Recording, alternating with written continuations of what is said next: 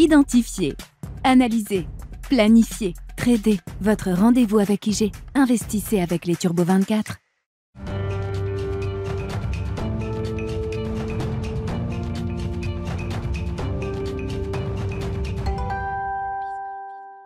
Et nous commençons tout de suite la semaine boursière avec le plan de trading. Pour cela, nous avons le plaisir d'être accompagnés en plateau par Vincent Bois. Bonjour Vincent Bois. Bonjour. Vous êtes analyste technique chez IG. Alors on le disait, après, euh, on le disait en introduction, après euh, deux semaines de décisions de politique monétaire des banques centrales, donc la Fed, puis la BCE, puis la semaine dernière la surprise de la Bank of England, la Banque du Japon également qui a exprimé euh, son soutien toujours persistant à son, à économie. Une nouvelle semaine s'ouvre avec de nombreux indicateurs économiques et encore des prises de parole de banquiers centraux. Oui, tout à fait. Une, semaine à surveiller. Pour le, pour le moment, les marchés hein, ne regardent pas forcément les données économiques ou même les banquiers centraux qui continuent d'avoir un discours un peu moins accommodant tout de même.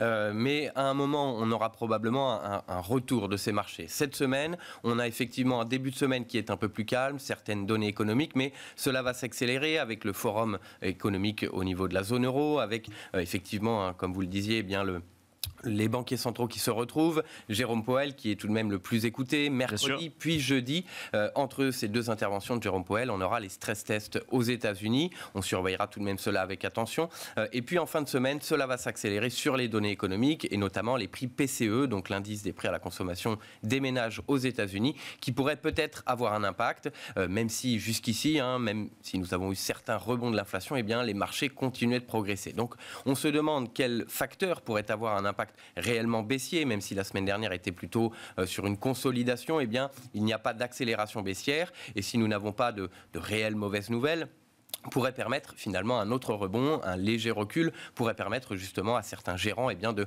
de rentrer à nouveau sur certaines positions qu'ils ont peut-être euh, ratées il y a quelques semaines. Donc euh, on s'attend eh bien, à une volatilité, on voit le VIX hein, qui commence à rebondir doucement mais qui est très très bas, euh, et on attend eh bien, peut-être un catalyseur qui nous donnerait une confirmation que ce rallye eh bien, peut tenir, ou au contraire eh bien, un retour en arrière parce qu'on a quand même des données économiques, que ce soit eh bien, en Allemagne, on l'a vu ce matin encore avec avec l'IFO ou encore au niveau de la zone euro, aux États-Unis ou en Chine. On regardera euh, d'ailleurs les profits des sociétés industrielles, les PMI également manufacturiers ou de services, euh, qui pourraient nous donner justement eh bien, peut-être un retour en arrière ou en tout cas euh, amener un doute sur les marchés sur, ce, sur cette hausse. Mais pour le moment, le début de semaine, on n'attend rien d'important. Donc peut-être que les marchés vont profiter pour rebondir avant de surveiller un peu plus en fin de semaine. Techniquement, euh, si on regarde euh, la tendance du CAC 40, par exemple, alors effectivement, on voit, euh, alors peut-être pas une consolidation, mais une temporisation.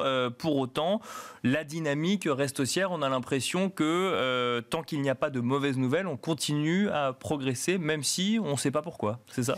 On a en fait, on a quand même de mauvaises nouvelles, mais qui ne sont peut-être pas prises en compte parce qu'on voit un rallye qui s'est construit sur la fin de l'année dernière ou au début de l'année pour le Nasdaq 100 qu'on verra tout à l'heure, euh, malgré tout de même, eh bien, euh, une inflation qui reste élevée, des taux qui sont après, de, qui sont même qui dépassent les 5% au niveau de la Fed, et on a un rallye qui ressemble à celui qu'on a vu finalement en 2021 lorsque les taux de la BCE et de la Fed étaient à 0%. Donc il y a quand même euh, des questions à se poser sur eh bien l'impact de ces hausses de taux. Bien sûr d'ailleurs euh, au niveau des stress tests. Au niveau du CAC, eh bien, et au niveau technique, euh, on a quand même un retour en arrière, mais euh, toujours en parlant de, graphique ou d'analyse technique, on est sur des niveaux eh bien qu'on a déjà testé il y a près d'un mois maintenant. on est sur ces niveaux, on ne va pas sur le bas du range. Donc au niveau technique, même si on a un retour en arrière un peu plus important, peut-être avec les discours qu'on attend mercredi ou, ou l'inflation en fin de semaine, un retour sur les 6850, 6900, ce plus bas hein, que l'on a vu en mars, c'est au moment justement des,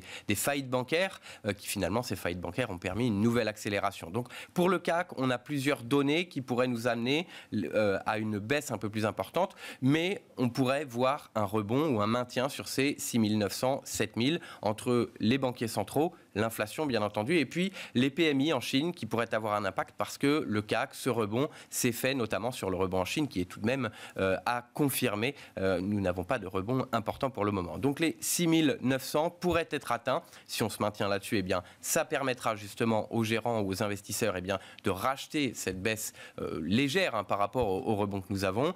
À plus court terme, ici, on est sur un niveau, on le voit qu'on a testé en juin. Si on se maintient sur ce niveau, parce que comme les indices américains ont plutôt consolidé la semaine dernière, on pourrait tout de même voir une tentative de rebond en, début de semaine. Donc à ce stade, et malgré la temporisation que, l'on voit, pas d'indicateur technique d'une tendance baissière potentielle à venir?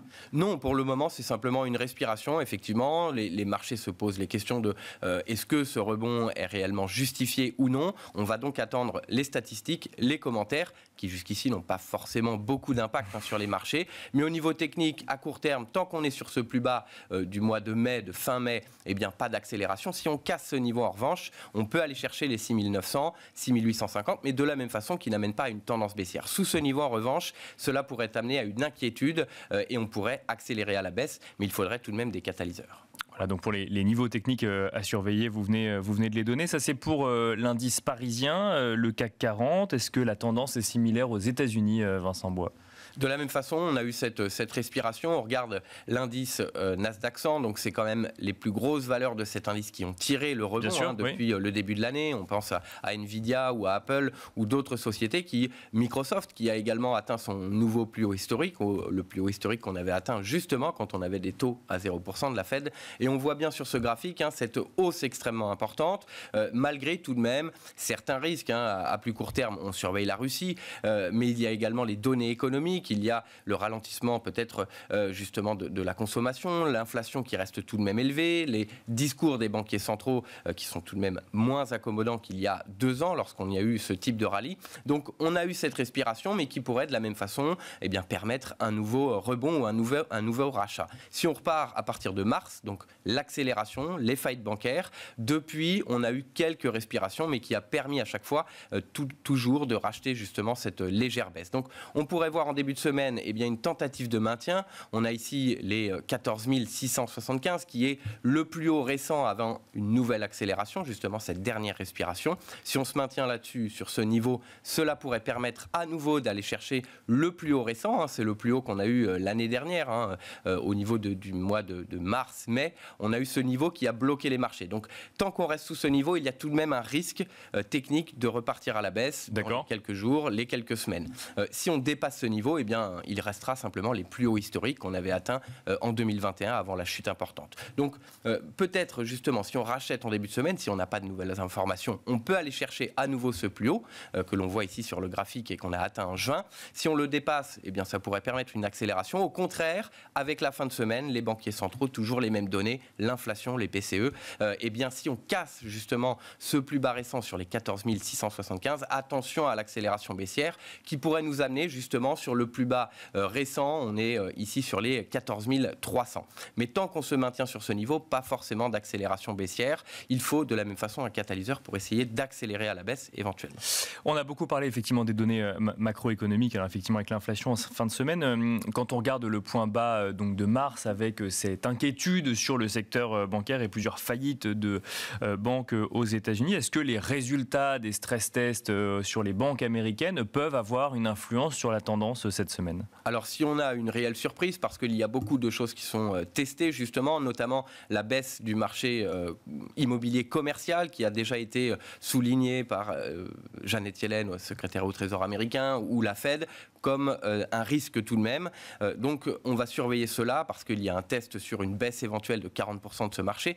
Mais il y a peu de banques qui sont testées, environ 25 banques qui sont testées ici, et probablement parmi les plus importantes, alors que le risque était plutôt sur les moyennes banques aux États-Unis. Donc euh, probablement que ce stress test va être euh, positif, ou en tout cas que la plupart des banques vont le passer, mais pourrait mettre euh, en exergue finalement certains risques que les marchés vont surveiller. Donc pour moi, ce ne sera pas forcément un catalyseur de baisse important, à moins d'une très mauvaise nouvelle, euh, mais pourrait permettre justement d'avoir des points à surveiller pour la suite euh, de l'évolution justement des marchés. Parce qu'on est loin de cette baisse qu'on a eue euh, mi-mars du fait des faillites bancaires éventuelles. Le Trésor a précisé qu'il pourrait y avoir d'autres faillites bancaires. Et puis il y a les résultats des banques qu'on aura dans deux semaines. Et donc, eh bien, cette baisse ou cette inquiétude pourrait amener à des mises en réserve des banques plus importantes que prévues pour risque de défaut des clients. Donc probablement pas les stress tests, mais on regardera tout de même avec attention les résultats.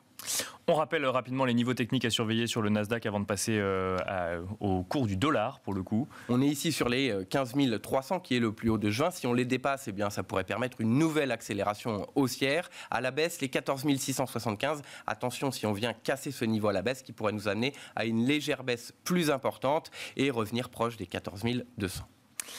Aux États-Unis, toujours, euh, que nous dit le cours du dollar, euh, Vincent Bois, sur la confiance des investisseurs, sur cette économie, sur ces marchés, euh, sur ce... Alors ici, nous sommes sur le dollar basket, donc il n'y a pas de contrepartie immédiate, hein, mais on est sur un panier de réserves de ses principaux partenaires commerciaux. Et donc ça nous montre la force ou la faiblesse du dollar américain tout seul.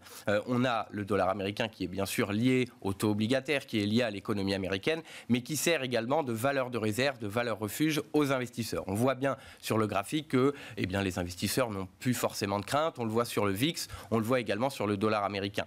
Mais on voit tout de même au niveau technique eh bien, ce biseau, ce plancher que l'on a vu en 2023, que l'on voyait également en 2022, qui n'est pas franchi. Donc il y a tout de même euh, des rachats importants à un certain niveau. À la hausse, de la même façon, on est sur une résistance oblique. Et donc cette forme de de configuration technique pourrait nous amener, peut-être s'il y a un nouveau rebond sur les indices, et eh bien un retour baissier, à nouveau sur ce plancher de 2023. Et on pourrait par la suite, il faut toujours un catalyseur, il faut que les marchés écoutent l'économie ou la politique monétaire, euh, pourrait amener justement à une cassure de ce biseau. Euh, on le voit ici sur la moyenne mobile 200 périodes, le plus haut que l'on a connu le mois dernier, et pourrait amener à une accélération haussière. Donc ça nous donne, tout comme le VIX qui est en baisse actuellement, et eh bien un sentiment des marchés, le marché qui est euh, toujours euphorique on l'a vu sur le Nasdaq 100 en forte hausse. Le dollar américain, finalement, qui n'a pas d'utilité comme valeur de réserve actuellement. Mais attention, si nous avons une cassure de, cette, de ce niveau du plus haut récent, pourrait amener justement à une accélération haussière et conduire eh bien, à une baisse sur les marchés. Parce qu'on rappelle qu'on peut regarder le dollar aussi comme un indicateur de volatilité ou comme un indicateur supplémentaire de volatilité, même si on a le VIX effectivement qui nous donne cette information. Alors au-delà de la volatilité, hein, de l'écart euh, des prix euh, journaliers ou mensuels, c'est plutôt le sentiment, si effectivement les marchés sont plutôt euphoriques ou sont plutôt positifs, euh, ils seront moins enclins à se tourner vers des valeurs de réserve, des valeurs refuges, et notamment le cours du dollar. Et donc euh, probablement une baisse. On le voit ici. Hein. on, a euh, voilà en mars, eh bien on a eu une hausse avant. Lorsqu'il y a eu le retour de la liquidité suite aux faillites bancaires, eh bien le dollar américain a finalement plongé, ce qui montrait que les marchés étaient plutôt positif sur les indices. Bien sûr. Et puis, si nous avons une hausse importante, cela traduit justement un retour sur les valeurs de réserve. Euh, donc, c'est au-delà de la volatilité, c'est plutôt le sentiment des marchés. Bien sûr. Nous avons un fort rebond, et eh bien probablement cela pourrait amener à une incidence négative sur le marché action. Donc, si je comprends bien, que ce soit le graphique du CAC 40, le Nasdaq 100 ou le dollar basket, il n'y a pas d'indicateur à court terme d'une envie de sortir des marchés euh, financiers actions, malgré des nouvelles macroéconomiques euh, en demi-teinte, ou en tout cas euh, qui pourraient être un petit peu stressantes pour les marchés bah Non, parce que depuis le début de l'année, on a tout de même des indications économiques pas forcément négatives, puisque le marché de l'emploi est, bon, mais tout de même des indications qu'il pourrait y avoir un ralentissement. Et puis le resserrement de la politique monétaire. donc pour le moment, il n'y a pas d'incidence sur le sentiment des marchés et on le voit au travers des graphiques. Le CAC est tout de même pourrait euh, descendre un peu plus, mais pas d'accélération au niveau technique. Il n'y a pas de, de, configuration qui nous montre qu'à très court terme, on pourrait avoir un changement d'humeur sur les marchés. Merci beaucoup Vincent Bois de nous avoir euh, accompagnés donc pour le plan de trading dans Smart Bourse. Je rappelle que vous êtes analyste technique chez IG. Merci. Merci. Identifier, analyser, planifier, trader. Votre rendez-vous avec IG. Investissez avec les Turbo 24.